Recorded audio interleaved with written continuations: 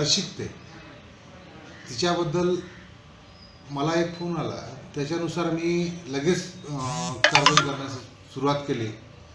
आणि त्याच्यामध्ये आम्हाला जे तथ्य आढळले त्याच्यामध्ये अशी गोष्ट आहे की ती मुलगी शाळेतून आपल्या घरी गेली.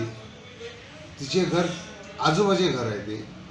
तिचे आईवडील हे सुरतला मजुरी कामाने बाहेर गेलेले आहेत.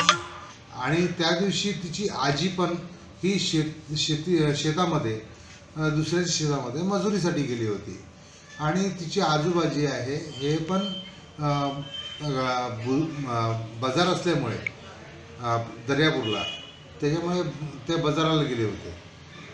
तर त्याचे आजोबा जेव्हा ते घरी गेले तेव्हा त्यांना कळ पाहिलं आवाज दिला मुलीला की कुठे आहे? आवाज दिल्यानंतर ती उठलीच नाही.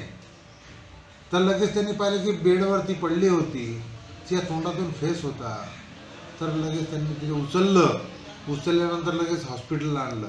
तर ते तिच्या अंग त्याच्या अंगावर म्हणजे आजोबाच्या अंगावर रक्ताचे स्ट्रेंथ आले. तर त्यांनी पाहिलं की मग काहीतरी प्र प्रकरण आहे.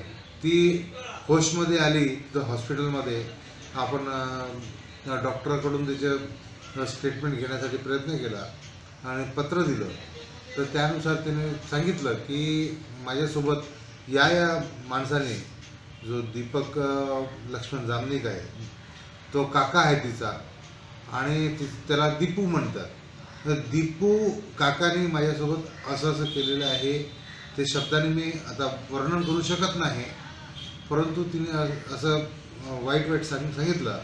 आणि ते सांगितल्यानंतर तर, जे प्रतिक्रिया होती काकाची काकाने सांगितलं की तो आमच्यासोबत इथं आला होता हॉस्पिटलपर्यंत परंतु तो पळून गेलेला आहे.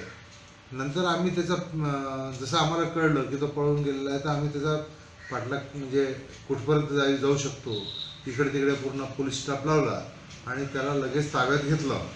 ताब्यात घेतल्यानंतर मुलीचं मुलीला जो उपचार होता प्राथमिक उपचार तो दर्यापूरला झालेला आहे. आणि त्याच्यानंतर तिला अमरावतीला रेफर करण्यात आलं. कारण की गायनाकॉलॉजिस्टला तीनशे शहात्तरचे जे वेग या पद्धतीने जे जे काही कलमं आहेत जे नवीन अमेंडमेंट आहेत बारा वर्षाच्या आतमधल्या मुलीच्या सोबत लैंगिक शोषणच्या बद्दलच्या वगैरे त्या सर्व आम्ही शिक्षण लावलं.